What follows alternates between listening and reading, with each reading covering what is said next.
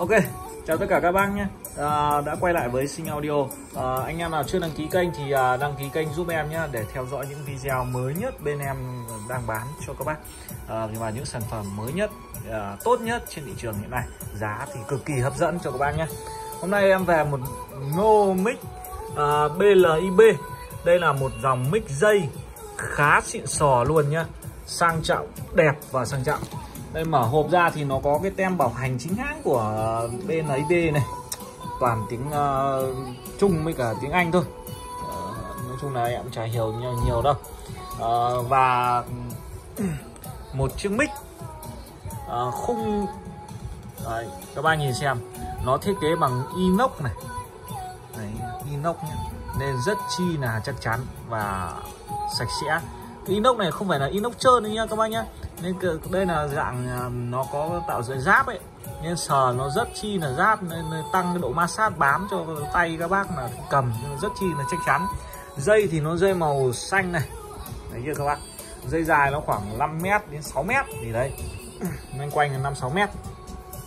À, và dây là dây liền.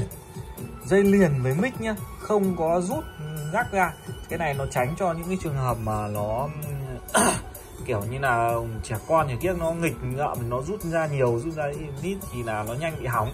Được chưa đây để em à, xoáy hẳn cái, um, cái lúm này ra cho các bác xem này. Cái côn mic nó đẹp nó đẹp dã man luôn nhá.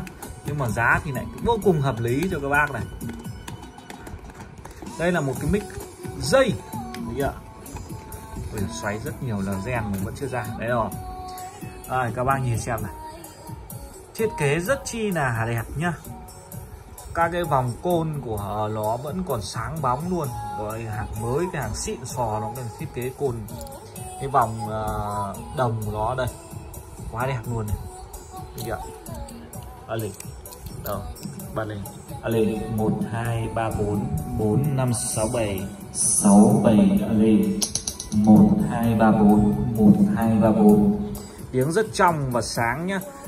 Tiếng rất trong và sáng nha các bác nhá. Cây côn màu ờ, hồng hồng như này thông thường là bọn em phải nhập ờ, tại Trung Quốc nó rơi vào khoảng 170.000 đến ờ, 150.000 đến 170.000 một củ, củ mic như này. Đấy thấy chưa?